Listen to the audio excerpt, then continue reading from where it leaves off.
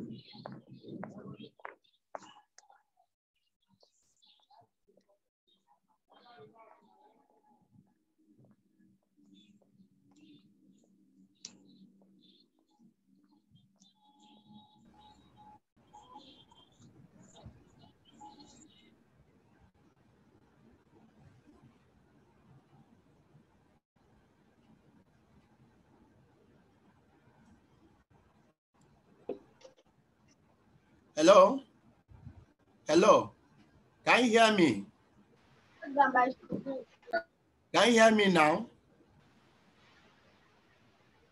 Yes, we can hear you, sir. We can hear you, sir. I think I Yes, lost sir, we can hear you now. Yes, you Okay, lost. sorry. Okay.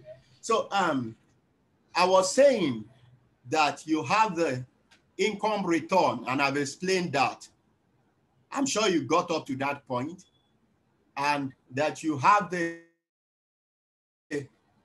capital return, which can also be referred to as a capital gain or capital appreciation.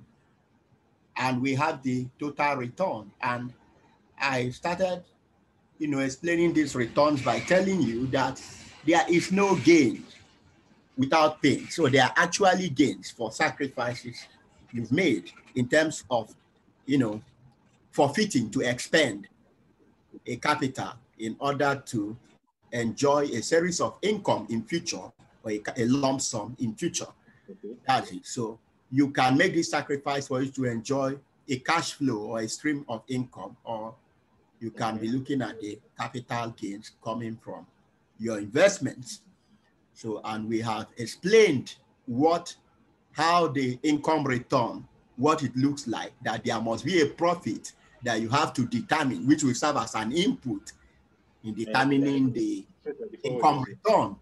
Then in the case of capital return, we told you, I'm, I'm telling you rather that we, uh, the consign of the uh, an opportunity at next week, you know, to remind or financial management expert or fund manager is to look at or to see whether Other, other one, yeah, okay, but the first one, yeah, the, the who first is one, yeah, that?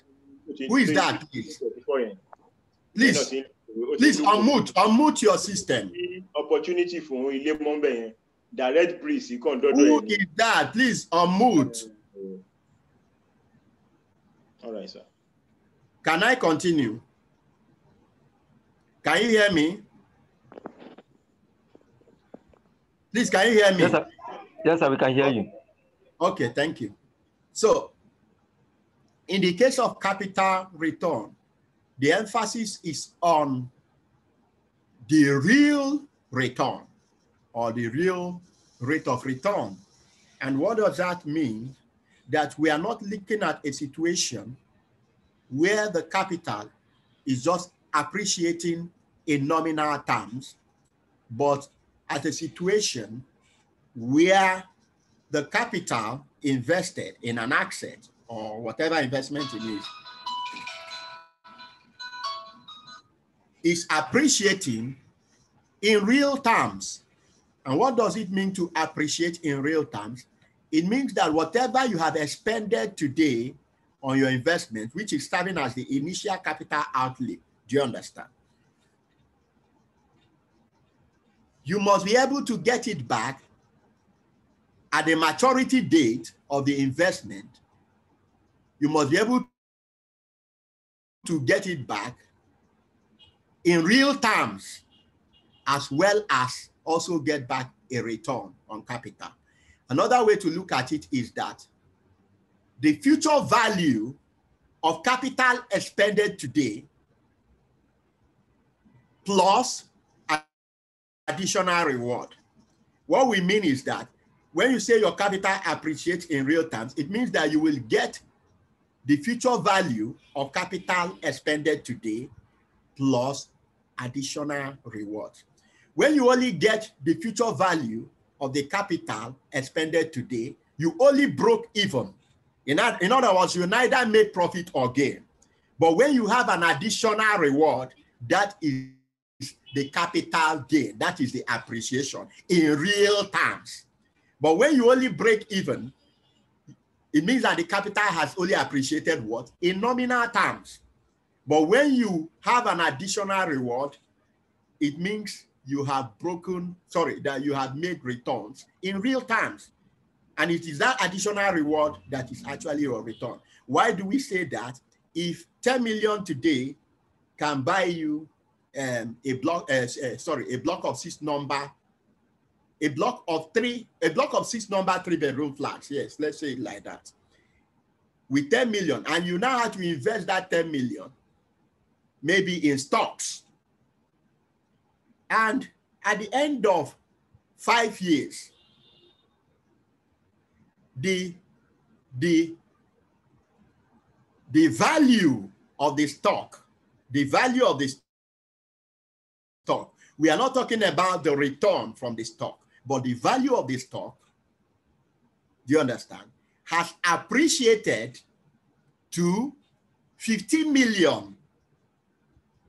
And you realize that that 15 million can no longer buy you the same block of six numbers, three bedroom flat in that five years time. It means that your capital appreciated just in nominal terms, but not in real terms. In real terms, you must break even. So you must get that value in future, which will be able to replace or which will be able to purchase what the capital you expended today can purchase. Am I communicating? I hope you got it. Hello? Are you there? Hello? Yeah, we can hear you, boss. Yes, sir. I hope you understood what I just said now. Yes. I should repeat it.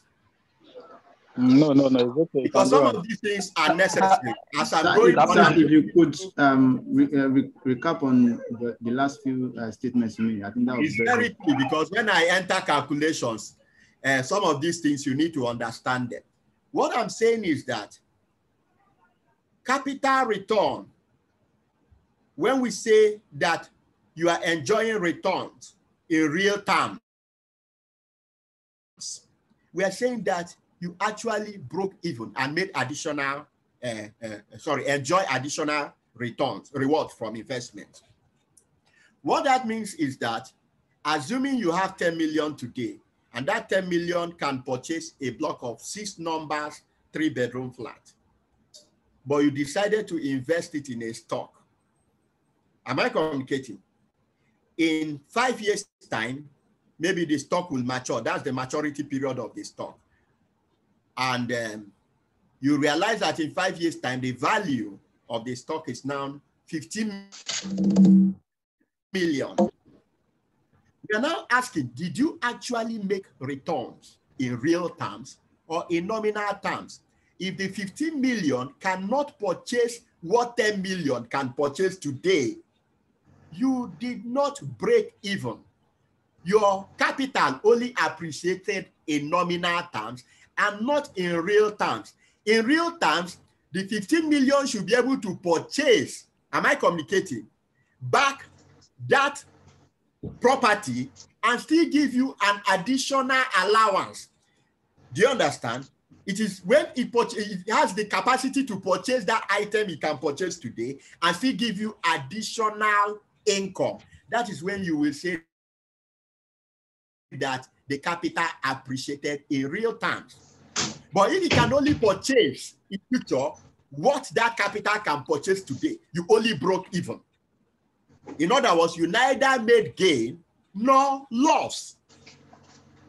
Because we are saying that because of the time value of money, 15 million in, in five years' time and 10 million today are the same. So you neither made profits nor loss.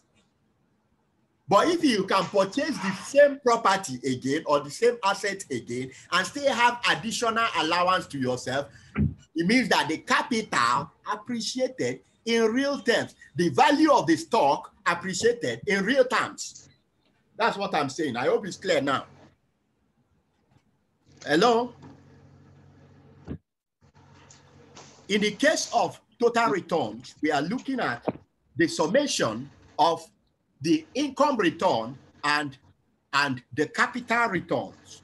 And the summation of the two can be referred to as the money weighted rate of return, or you can also refer to it as the holding period return. So whenever you hear me talking about holding period return as a lecture continues or money weighted rate of return, I'm simply referring to the to the total returns. And you need to be familiar with these. These are some of the various components. You are, you, are, you are going off at some point. We can't hear you. Returns from an investment. Okay.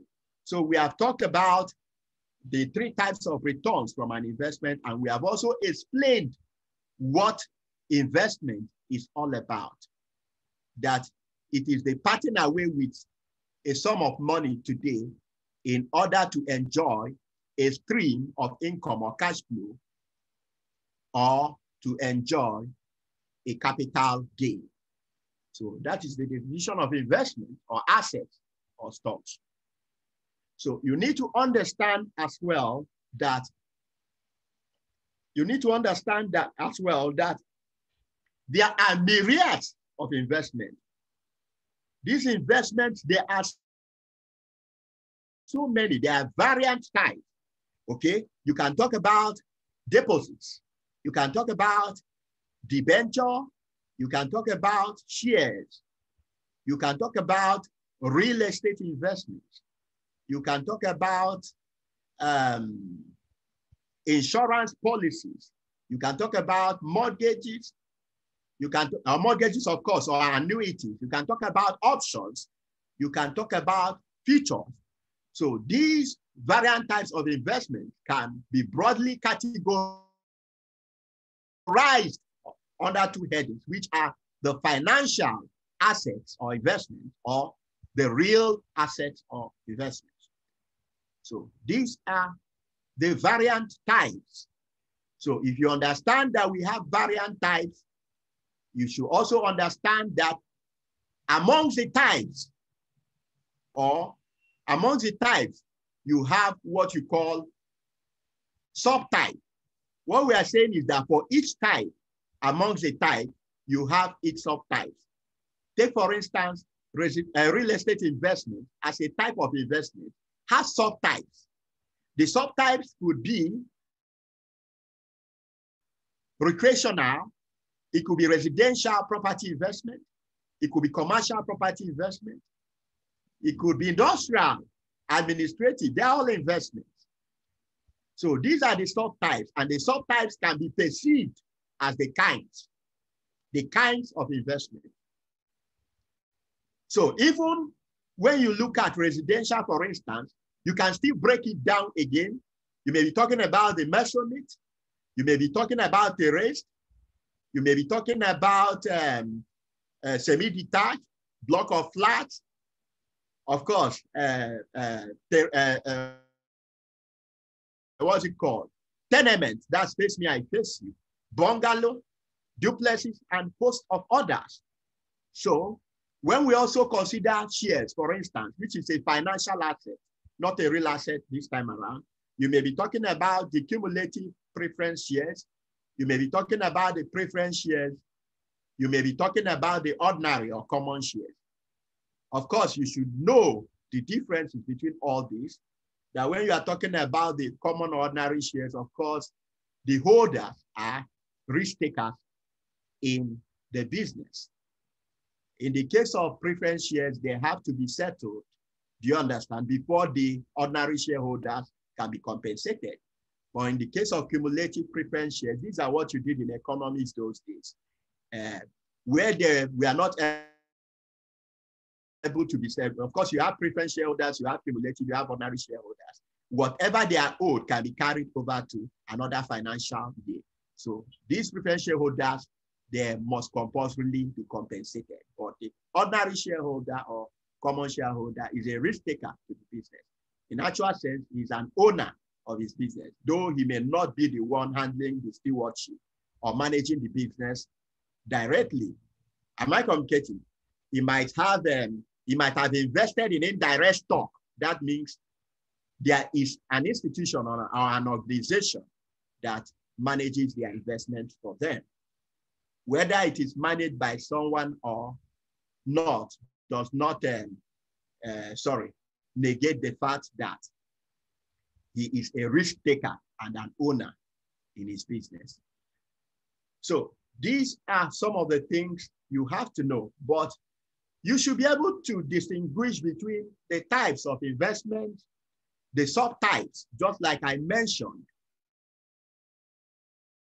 which I refer to the subtypes as also the kinds. And you should also be able to tell us what the nature of an investment connotes. The nature of an investment simply tells us it is an explicit, uh, uh, uh, sorry, how do I put it now? It is an explanation of the kinds of investment. The nature of an investment tells you about the arrangement, okay, when you are trying to explain what a maisonette is, the composition of a maisonette, you are talking about the nature of that investment. So it is an, an explanation of what the kind of an investment is. So the kind can be referring to the brand. It can be referring to the product. It can be referring to the trademark. It can be referring to the variety, the different varieties of a type so what is a type or what is a kind is actually contextual. Contextual in the sense that what may be a type can also be a kind if it has a subtype. What am I saying? I gave an example that when you look at um, investments, you have the broad category of financial assets and real assets. There are types. When you want to look at the types of real assets, for instance, you may start talking about residential, commercial, industrial, recreational. So you can see that these are the kinds of real assets but those kinds can be perceived as subtypes. And if we move further, we see another kind of those subtypes. Because if we look at uh, residential, for instance, you may have the maisonette, you may have the bungalow, you may have the duplex. So, and that's why I say that what is a type or kind is contextual, depending on how you are looking at it or at the level which you are looking at it. You need to understand this. So having understood this, my first assignment is usually for you to go and look at at least 20 types of investments, or uh, let's say 10 types of investment. Also tell us their kinds. Tell us their kinds. And as well, tell us the nature. The nature is an explanation of the, of the composition of the kinds of investment. So you need to tell us what they look like, the composition. That's the nature. Having done that, we have known what investments are all about, and we know that they have types, they have kinds. And you can also consider the nature. So at this point, I would like you to know that every investor has an objective, have an objective or a goal. And the goal of investor A may not be the same with the goal of investor B. The goal of investor B may not be the same with the goal of investor C. So now, if they have different goals, how do you now satisfy the different goals? Who is there? How do you now satisfy the different goals of these investors? That takes us the uh, takes us to the point that we have to consider the characteristics of an investment. Different investments have different characteristics. So an investor will now have to look for those investments that have the attributes or the characteristics to satisfy his goals. To satisfy their goals, different investors, they have to look for the investments that have the characteristics to satisfy their goal. There are different characteristics of an investment, and different investments may not have the same features or attributes or characteristics. So, but there are some ideal characteristics of an investment, which we may consider today. One of them is the security of capital.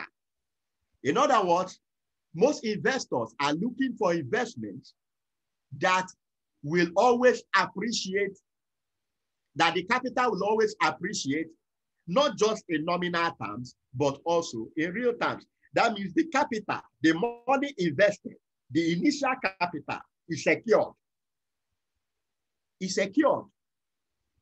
So they have to look for investment that have that characteristics.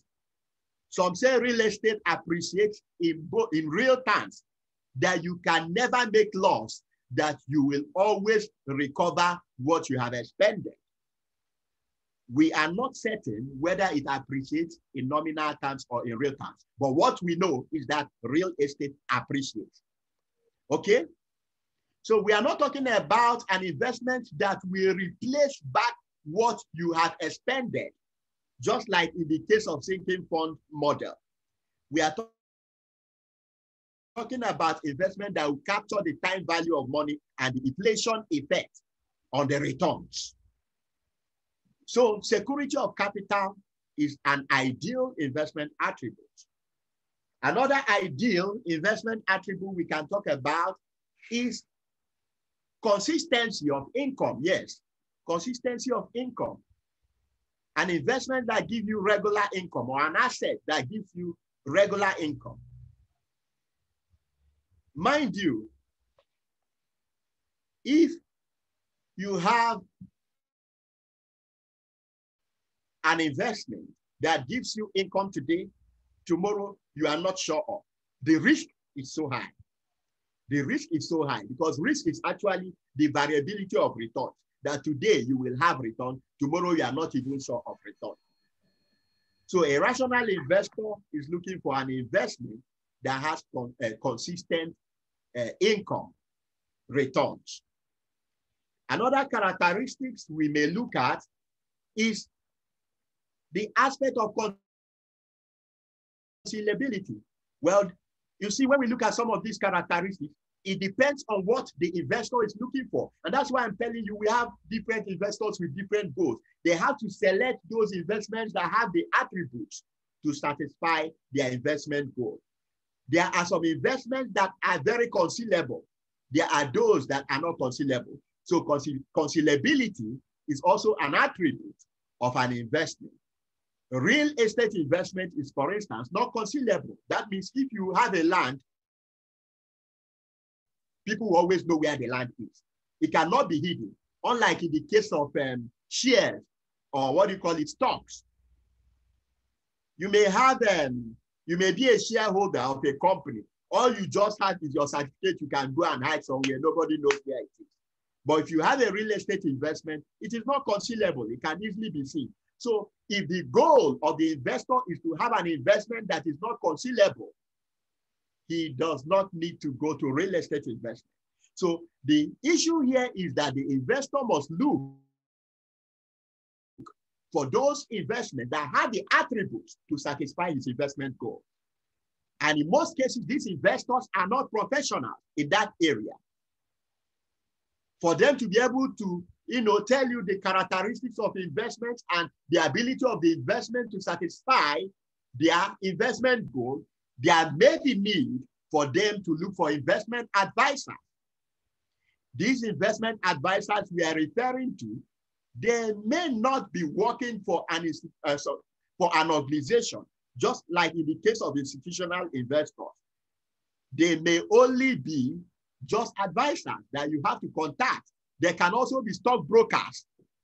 Stockbrokers can also serve as investment advisors. So they give you advices they counsel you on those investments that have the attributes to satisfy your goal. So the investor profiles his goals. These are what these are the these are my objective.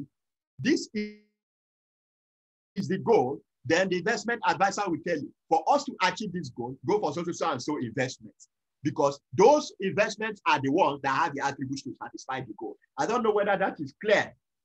So if you have gotten up to that point, then there are other attributes. I might not mention all. Please go and read up. Like tax shelter is an attribute, an ideal attribute of an investment. It is not every investment that enjoys tax shelter, like the pension fund. Do you understand? And some insurance policies that enjoy tax shelter. Real estate does not enjoy tax shelter. So it depends on the goal or what the investor is looking for. He had to look for those ones that have the attributes to achieve the goal. Why I'm teaching like this, because I'm not going to start giving you a topic heading by heading because we don't have much time. I will just glance through the whole thing. Please, you go and read up. Time is not on our own part, but at least the key things or the rudimentary, uh, sorry, aspects of this portfolio and what you may be expecting in your exams, I will touch on them. So now, having said this, the, I started by telling you that there is no portfolio analysis without investment analysis. And that is why I started first of all by explaining what investment is all about. And you can see, if you know, I'm sure all of you have seen what the rainbow, rainbow looks like. Rainbow has seven colors, different colors, but it is one rainbow. The rainbow is not two. The rainbow is not three. The rainbow is not four, neither is it five or six or seven. It is one rainbow. The same way we have different investments that can make up a portfolio. So A portfolio is a set of investments. It's made up of different investments, but it is perceived as one. The ownership is single. So there is single ownership when you are talking of a portfolio. That's the concept behind a portfolio. In the olden days, they used to look at a portfolio as that briefcase, you know, workers used to carry and they pack documents inside. So the documents inside the briefcase was what we used to perceive as portfolio those days. But today, we look at it. Oh, bye, as- Hello? Tell me. So today, we look at it as a set of investment owned by a person, possibly managed by an entity.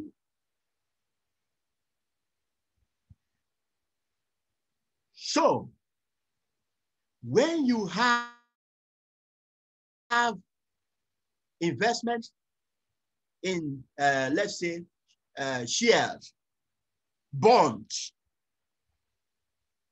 real estate investment that is direct. You have debenture, which is of course a kind of bond. You have insurance policies. You have annuities. You have future. They can serve as your portfolio. You can also have a portfolio in a situation you have invested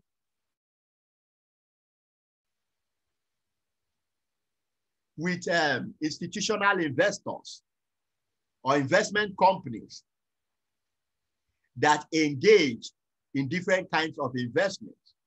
So a situation, an investment company will pool funds from members of the public and reinvest it in different assets. The investment company is not actually the owner of the investment. They are the fund managers, while the people they pool the fund from are actually the owners or the risk takers of the business. So when they pull funds from members of the public and reinvest it in varying assets, for the fact that the underlying investments are many, a portfolio has been created. You are an owner of a portfolio indirectly because you are not the one managing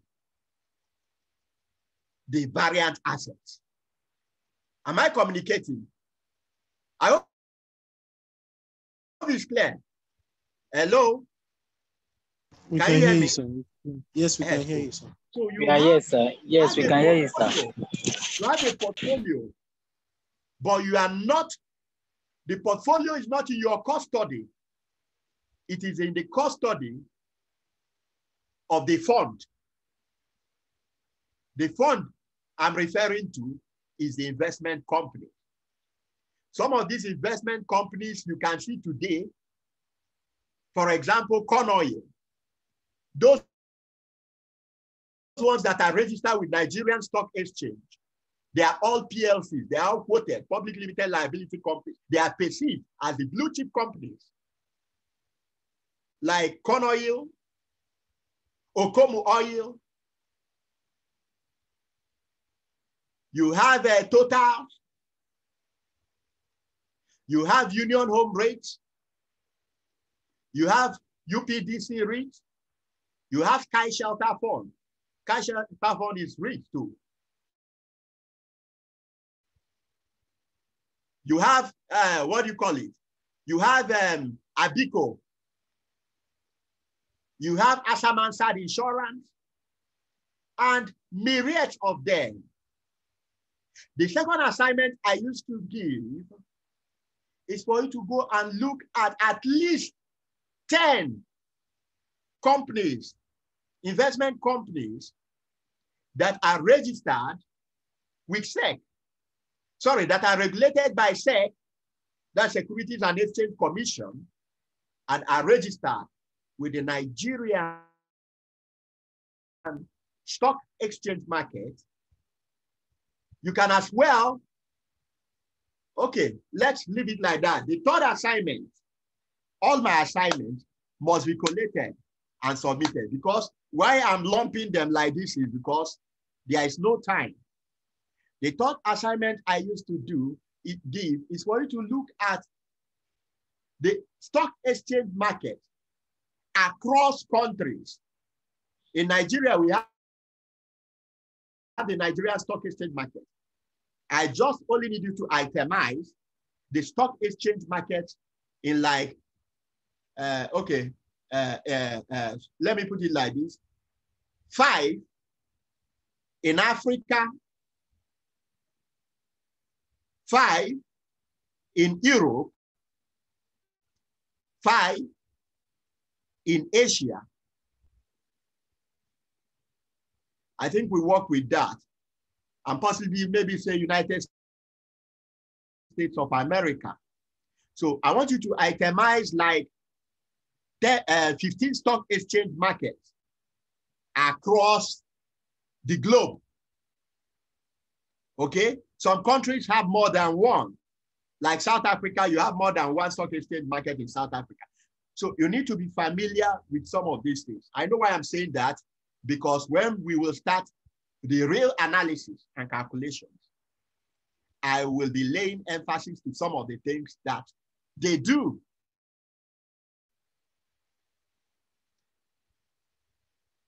So please look at them. So I now told you that the same way you have seven colors in a rainbow, but one rainbow, that is the same way you have different investments that make up a portfolio, but one portfolio. Because a portfolio is owned by a person. So all your investments looked considered as a whole is your portfolio. And when we are doing portfolio analysis, we don't look at the individual investment alone. We do portfolio analysis, it is in two levels. The first level is to consider each of the investments that make up the portfolio and do analysis of each of the investments that make up the portfolio. After we finish doing analysis of each of the investments that make up the portfolio, we will now take it to another level.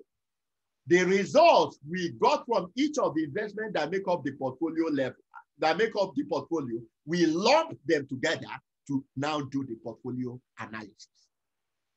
So it is at two levels, the security level or the asset level, then before you can move to the portfolio level. In other words, you cannot do portfolio analysis without first doing the individual investment that makes up of the portfolio without doing analysis of each of the individual investment that makes up the portfolio. That's what we are saying. It's very key. I'm still thinking of how we are going to run some of these analysis, especially now we are working online, but I will, I will sort that out. The only challenge you may have is that the speed with which I will treat it now may not be the speed I've been using for the previous uh, sets that I've got. So you need to sharpen your mind and also think faster and know that there will not be repetition or uh, what do you call it, uh, constant um, revision. The revisions will now be left for you to handle by yourselves. So, having said this, um,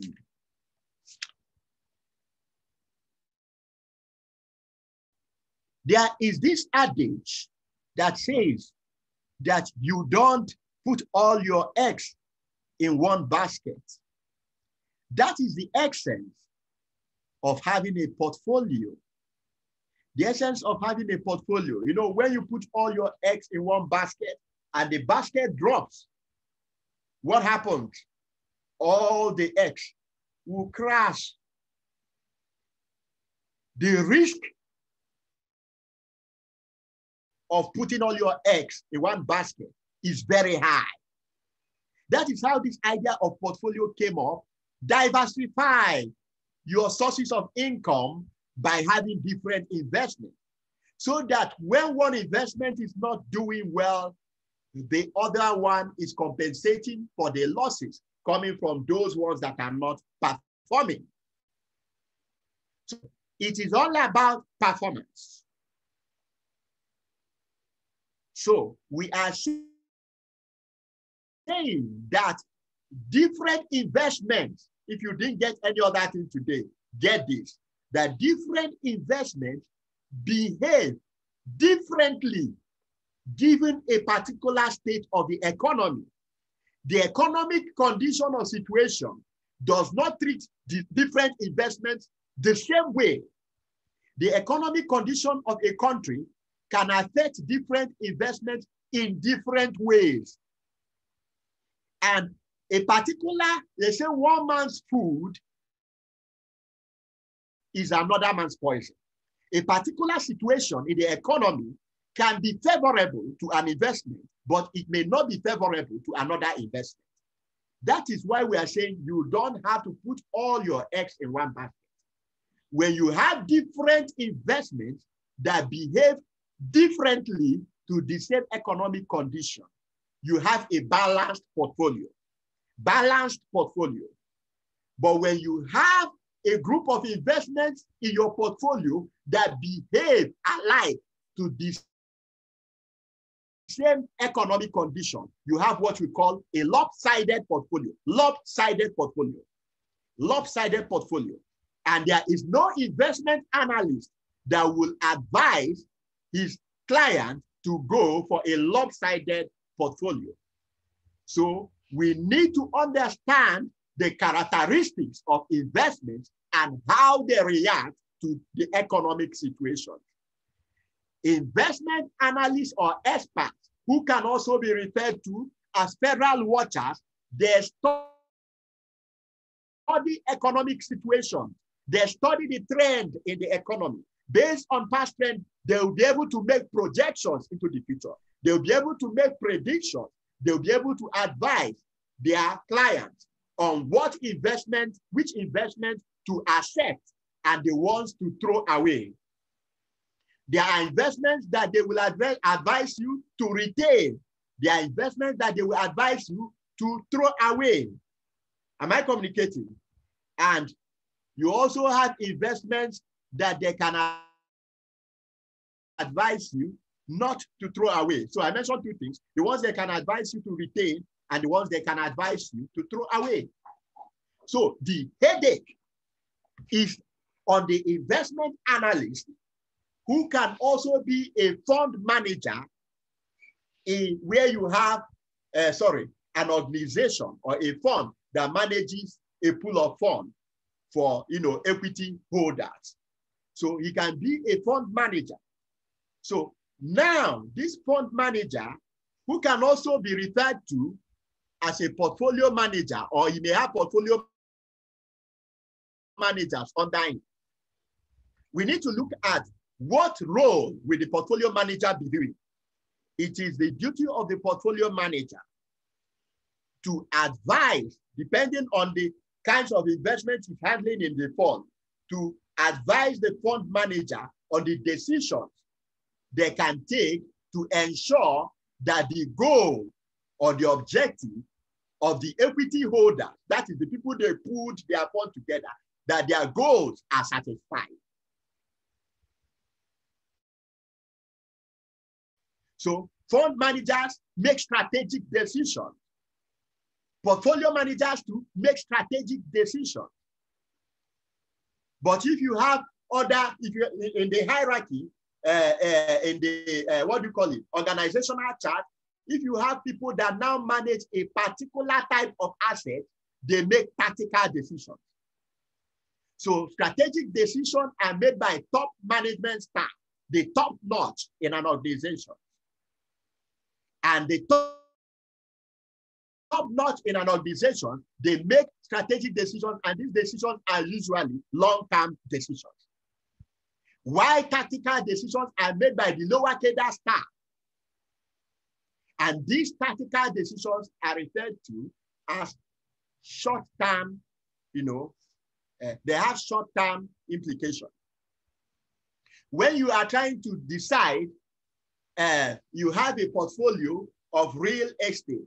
You are trying to decide whether to bring in residential into the portfolio or to bring in com- commercial or to bring in industrial or to bring in recreational. These are decisions made at the tactical level. But when you are looking at the top management, the top management, where you have the top notch, the people that you know runs the company, the managers in the company, they make strategic decisions which have long-term implications. They may be looking at how the company, the investment company, can match with another company. That is a strategic decision. Strategic decision borders on issues of mergers, absorption, uh, flotation, taxation, commercialization, privatization, and host of lives. So you need to be familiar with what strategic decision in an investment company and tactical decision in an investment company connotes.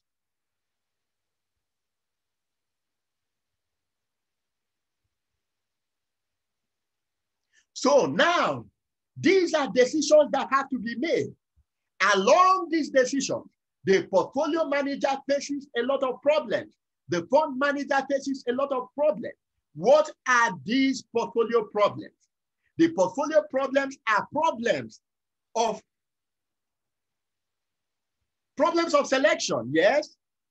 The first problem is a problem of selection. The second problem is the problem of timing. And the third problem is the problem of allocation.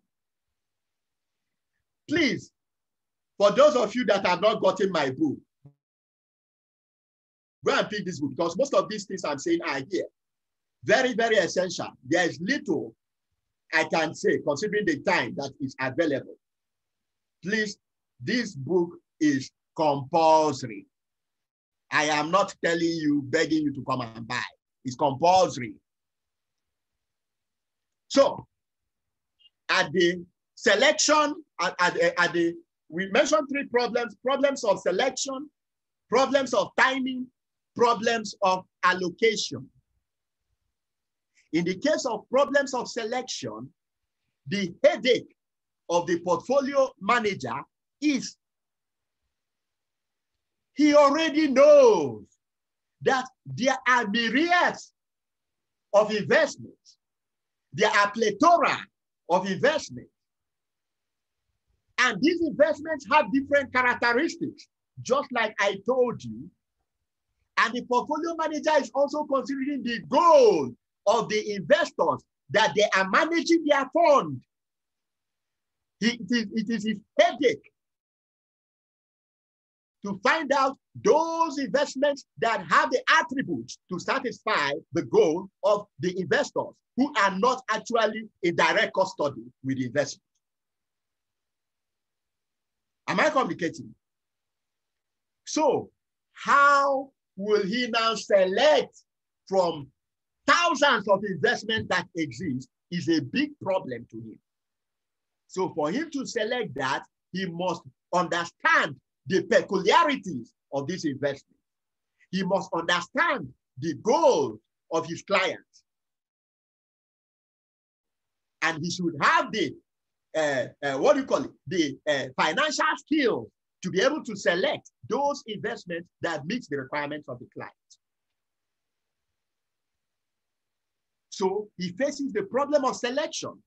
Which one should I select that will take care of what my client is looking for? Because every member of the public they pulled fund from, who they are supposed to give feedback by virtue of either paying them dividend if they, if, if they have invested in shares or paying them coupon if they have invested in bond. It is their duty, do you understand, to they owe them a duty of care to give them that feedback on what they have used their funds, pool of funds to do. So that is a big headache to the portfolio manager and the fund manager. Another issue is the problem of timing. Every investment does not perform for life. even human beings. There are times you are performing. There are times you are not performing. So every investment, they do not perform for life. There is a particular situation in the economy that will come in, you find out that some are no longer doing well. Doing well in terms of their returns and in terms of their risk. Risk. So you find out that some investments are no longer doing well. So it is the duty of the portfolio manager to know when to invest on that problem of timing, when to invest, when not to invest, and when to sell, when to discard of investment. I mentioned three things here. Please take note, when to invest, when not to invest, and when to divest, when to sell some of their investment. He should understand this. When do you invest? When are you supposed not to invest? And when you do you sell off some of your investment? You sell some of your investment when you notice that the value is about to drop. You need to understand the business cycle as an investment expert or analyst. When you see that the value is about to drop or that the returns, that's the income return is about to drop, that is the best time to discard. When you see that the value of your investment is about to rise, that is when to purchase. You study the business cycle. Fortunately, I can't be presenting business cycle to you here. Assuming it's a physical lecture, I will break this thing down, but some of them are well explained in the textbooks. So you need to understand when to invest, when not to invest, and when to sell. If the economy is volatile, it may not be good to either invest or not to invest. You just sit and you watch the economy. And that is why investment analysts are look considered or are referred to as federal watchers or economic watchers. You just watch the economy. So please, you need to be familiar with that. And the third problem which the portfolio manager and the fund manager faces is the problem of allocation. When we talk about problem of allocation, we're actually referring to, this is the most important aspect of the, the most serious challenging problem the portfolio manager faces. The problem of allocation. We are talking about how to allocate funds. How to allocate funds. Now you have seen like 20 or 30 investments that have the attributes to satisfy the investor's goal. But for you to stake your fund in these 20 investments, you may need like 200 million or 500 million, but you only have 40 million with you. That is the problem of allocation. How do you now apportion this 40 million to this myriad of investments? And that is why you cannot look at the problem of allocation in isolation without looking at some statistical tools that you can use to come out from the headache of problem of allocation. And that is where correlational analysis becomes indispensable. So in this course, you must at least understand what correlation does.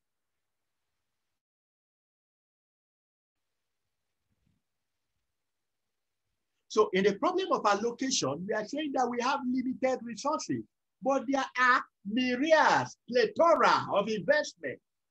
How do we now capture them?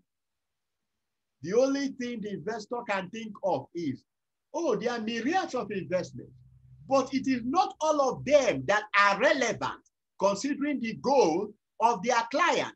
They only have to select those ones that have the attributes to satisfy the goal of the client. They may also have to do what Markowitz in 1956 called the mathematical programming, which is a variant of linear programming. In order to help them to select the ideal investments that will make up the portfolio. So we will look at this mathematical, it's a calculation. We'll look at this mathematical programming at the appropriate time because I will be able to explain it through this video.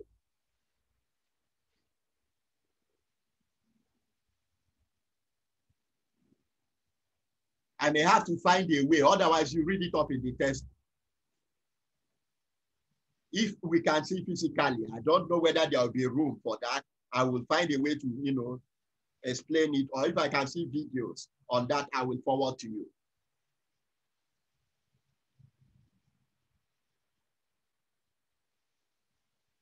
So these are the three basic problems that we face when we are talking about portfolio problems. That is the headache of the portfolio manager and the fund manager.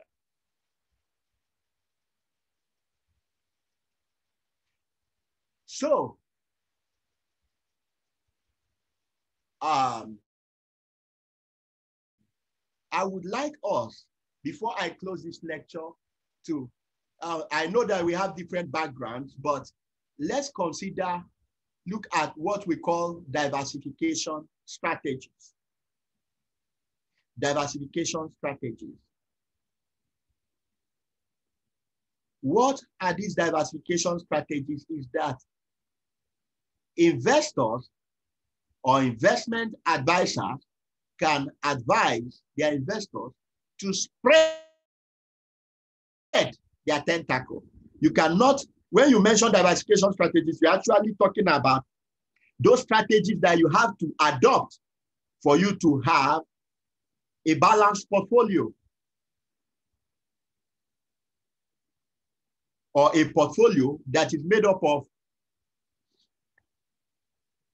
assets or investments of variant types. We can pick, for instance, diversification strategies for real estate. And there are classifications on how real estate investments could be perceived or considered. You can diversify real estate by geographic location or economic type. By geographic location, we are saying that you can have your real estate investment in, uh, you can look at it from the national level or global level. You can have your real estate investment, or you can also look at it at the metro level. So let's start from the metro level. Maybe, for instance, in Lagos, you have different local governments. So you can have your real estate in the various uh, local governments you feel that are okay with you. You have diversified. They are not in the same location. They are not in the same location. So you have diversified. So, and what you have done is that when you diversify, you are trying to reduce the risk of loss in your investment. Because there is that probability that uh, there's high probability that if all your investments are in one place, there's that probability, high probability that it may be gutted by fire and you lose all. But when they are scattered in different regions or areas, there is no way you can lose all at the same time. So when you diversify, you are trying to do what? To minimize risk. So diversification by geographic location means scattering your properties in different places. It can be at the metro level, meaning at the local government level of a state. It can be at the national level. You can have your property in Sokoto, if you feel Sokoto will not be affected by Boko Haram. You can have it in um, uh, Lagos. You can have it in Kogi. You can have it uh, uh, uh, in Enugu. You can have it in Cross River. You can have it in Delta and so on. That is diversification by, proper, by geographic location or by economic type. There's also what you call diversification by property type. You can diversify your property, your real estate investment by property type to minimize risk as well. How do you do that? You can have a bungalow, sorry, you can have residential, you can have commercial, you can have industrial, you can have religious, you can have recreational, you can have administrative. Even within residential, just as we earlier mentioned, you can have masonry, you can have terrace, face me, I face you, that's tenement. You can have bungalow, you can have semi-detached. You can have blocks of flats and host of others. So that is diversification by property type. And the essence of having all these variants is that you don't want to put all your eggs in one basket. So that when one investment is not doing well, the other one is compensating for it. No two properties are the same by virtue of location, location, and their markets are totally different. So their performances are also different. So when you spread your tentacles by investing in different kinds of real estate investment, you are also diversifying and minimizing risk. That's portfolio. You are creating a portfolio. Then the third one is diversification by ownership structure. The diversification by ownership structure means that you can have your investment in real estate as a sole owner, what you can refer to as a sole proprietorship business or investment. You can have what you call JV, what that's joint venture. You can have what you call a partnership arrangement. These are different ways you can diversify your investment by ownership structure. You can also diversify your investment by life cycle cost, by life cycle, not costing, please, life cycle. In that case, uh, the investor can decide to purchase a property. I'm just using property as an example now that is either is purchasing a balance. When he gets a balance, he mixes it up with another property that is at the foundational level. He can decide to mix it up with another property that is at the lintel level. He can decide to mix it up with another property that they have already roofed. He can decide to also add to it in the process of his, in the, uh, sorry, in the course of his diversification. He can decide to add to it a property that has been rendered no longer in carcass form. It has been rendered and painted. He can also decide to invest also in a furnished apartment. So all these levels tells you that all these properties we are mentioning at different levels are not in the same market. And they are not affected by the same level of risk. That means that there is diversification by life cycle getting different properties at different levels with different risks. Because the essence of diversification is to get investments that have different levels of risk.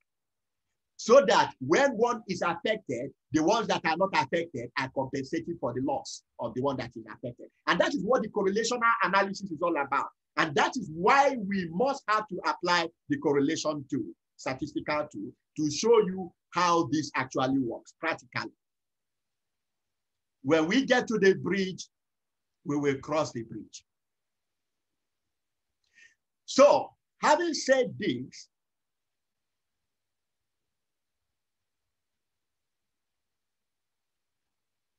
hello, hello, am I communicating?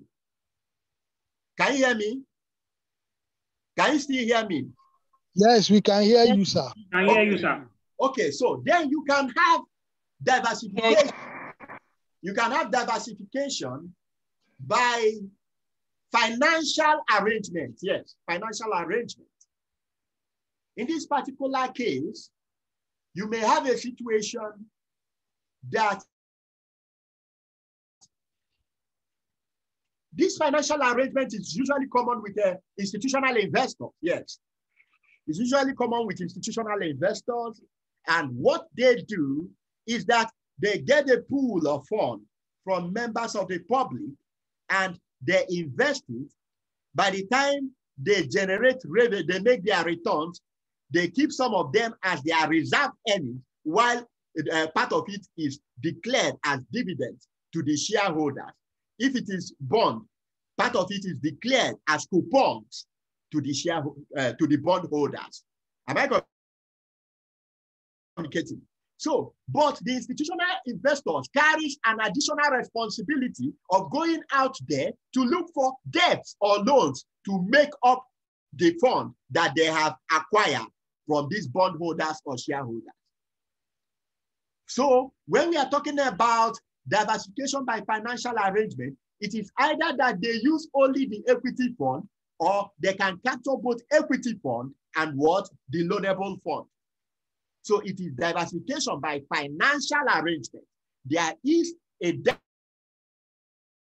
finance, there is also an equity co contribution from the shareholders who pooled fund for them to manage on their behalf. So that's diversification by financial structure.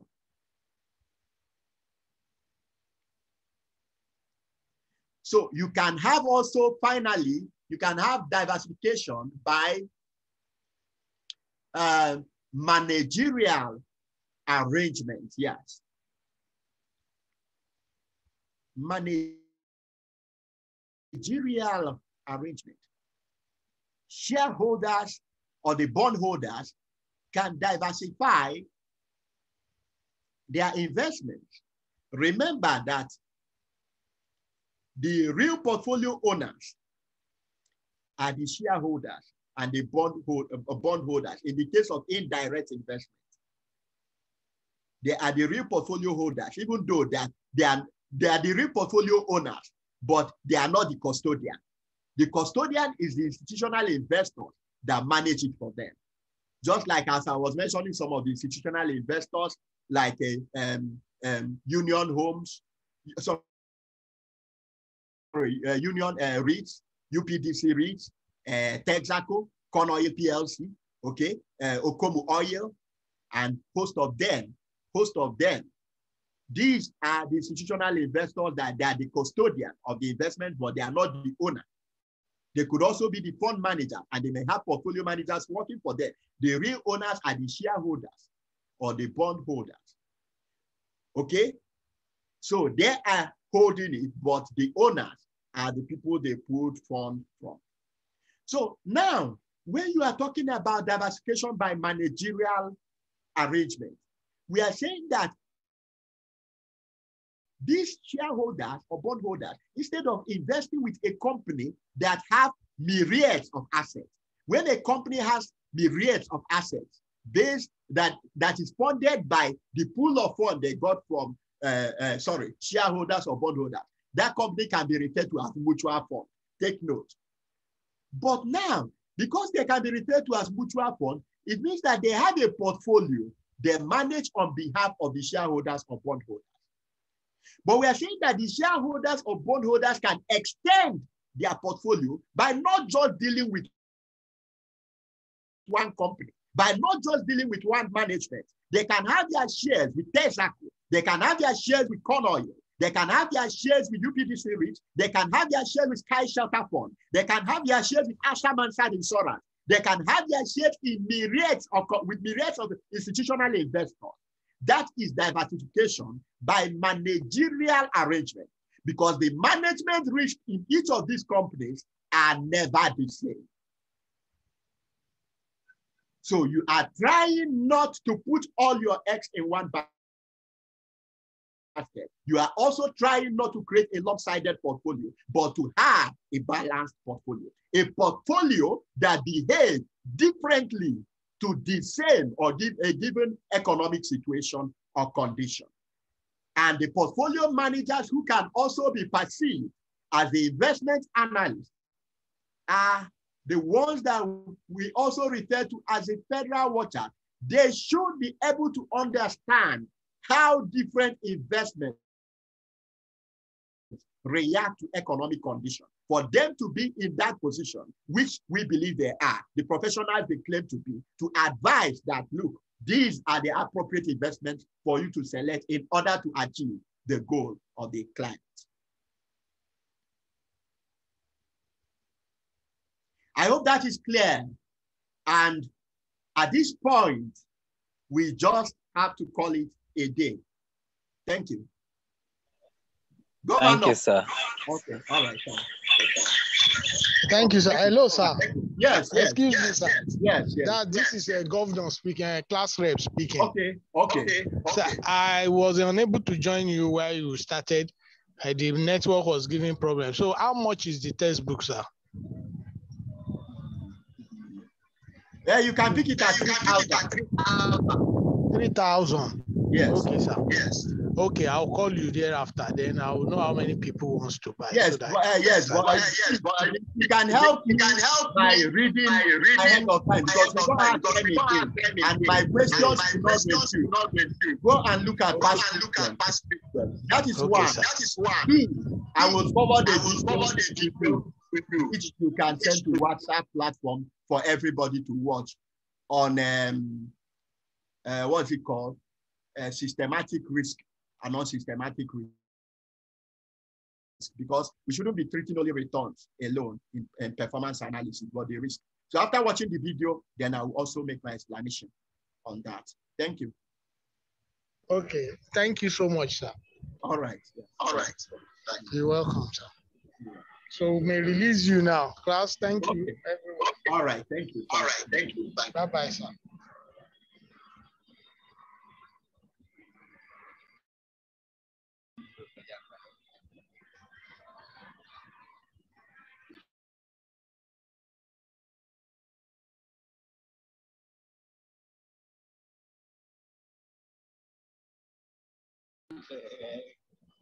Well, Dr. Umeh is out. Do we have anything to discuss just after this class?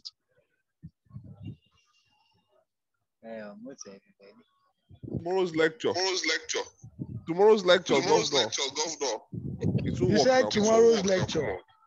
So, sorry, Sunday, Sunday, the one you put on Sunday. Will it work? Kò lè work o, kò lè work o. How I'm going to What do you want us to do? How No, I'm no, going to work? governor, I think for me, you should, you, should, you should come back to the class and say, see what this guy is saying. oh, Then we give you, you go ahead and we'll tell you what to tell him. What you guys just be saying, come up and say, Ah, really? lectures on on really, um, I understand you, but we actually asked him for um, a postponement of the class, you know, and he was actually telling me that he doesn't have time. You understand? So when he had mentioned um, Sunday evening, I said, okay, at least many people will be back from church. At least you'll be able to rest yourself before we do that lecture for Sunday. But if you, for me, oh, this is online class. So I just believe that the lecturer is not there. So you can always log in. Nobody will ask you question that where are you, or they will know that you are not there. Okay. I'm not trying to teach you uh, corruption. Don't forget, we have assignment to submit that day. So what are you that teaching day. anybody to present? Okay, okay, please hold on. The assignment you have done it on your phone. How do you present it on your phone? The worst He said you will that share your screen. Share your screen. How many people? Eh, Within it's not, it's not a half hour. compulsory. It's for those that are able to do it. It will just take like two or three people. It's not a compulsory. Okay, uh, you know, you know what I will do? I will discuss with him tomorrow or this night that he should allow us that it's not everybody that will be able to meet up for that lecture, but it's better for us to take the lecture, record it, and then we we have it. It is marked as if the lecture has been taken, so that we have a lot to do. So this time we don't need to drag ourselves backward anymore. Okay. I I I, I understand. All No um, Belois, um, what I want to also add is that probably maybe Their own opinion. Out.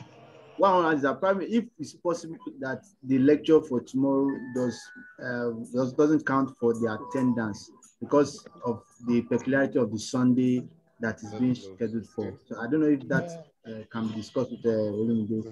And Um, so I'll discuss with him. That's what I'm saying. I'll discuss with him that he should be lenient that uh, the situation on ground, so many people are trying to so many people not trying to. So many people have a lot of things to do. Some will be traveling back to their base, you know.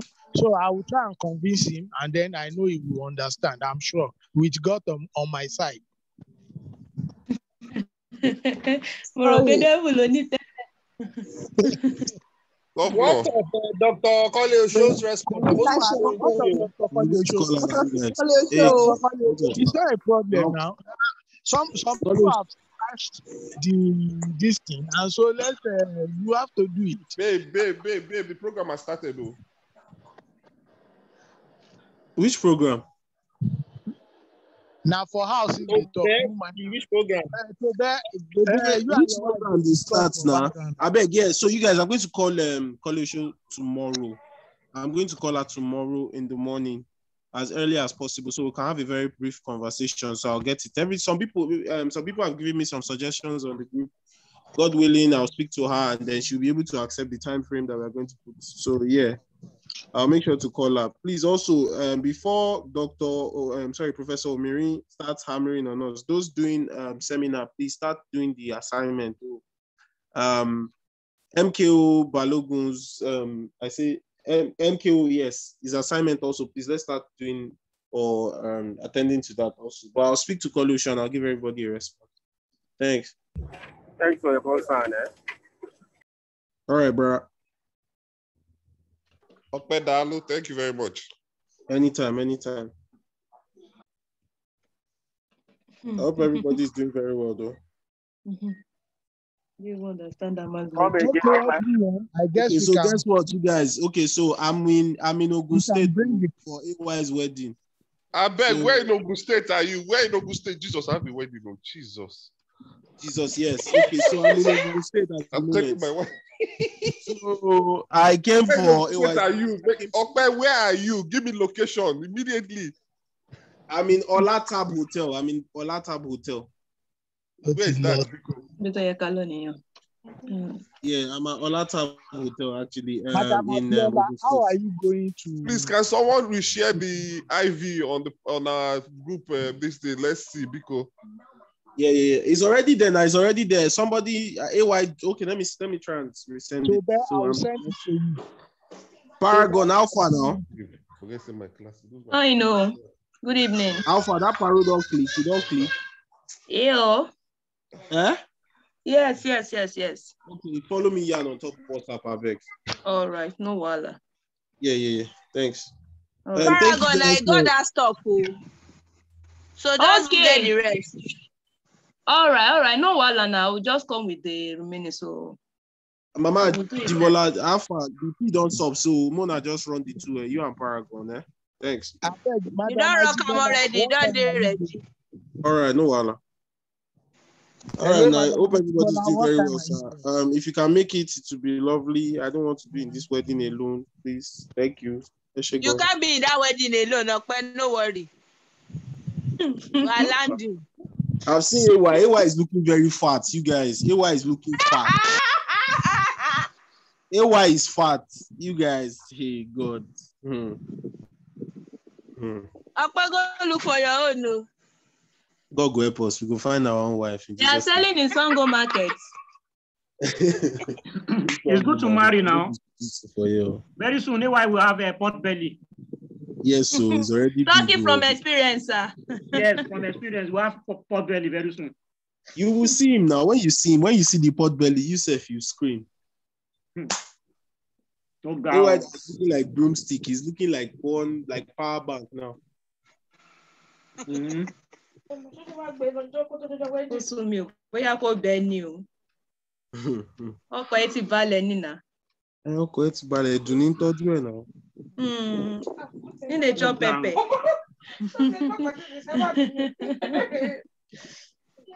All right, now, we- thank you very much, you guys. I'll, I'll, guy- everybody, thank you, thank Oh you, my- all Okay, the okay, misters who and else to pick the Mrs. flower now? What do you say? Who else to pick the flower? Which, which flower? Flower? What Okay, flower? meanwhile now. Who wants No to pick AY go flower? throw am now. Uh-huh. So make I Paragon Na come go go throw the flower now. So Tell make I Paragon go go catch flower. flower. No, I know they